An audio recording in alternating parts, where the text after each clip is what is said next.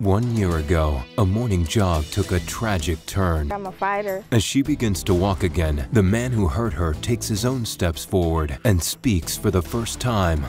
Describe to me what happened when you got out of the car. I saw her body, and then I realized what I had done.